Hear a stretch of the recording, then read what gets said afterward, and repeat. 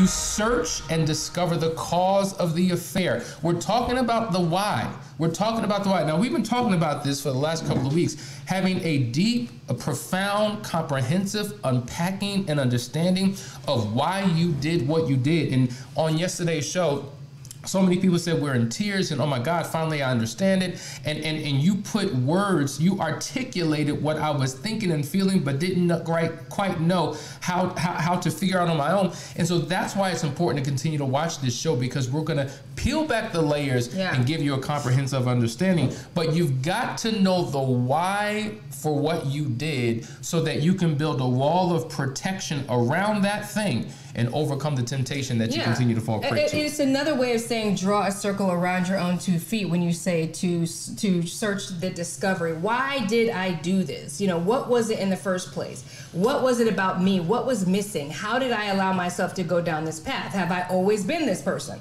Right? Because we're talking about you will cheat again unless you look at these things, right? So you got to look at why am I doing this? Because many folks come to us and they really don't know their why. Mm-hmm. To your point, like they're so confused. Uh, I mean, their spouse wants to know why did you do this? They don't even know why they do it. And sometimes it's about digging, digging deep to find out what was the source of your hurt.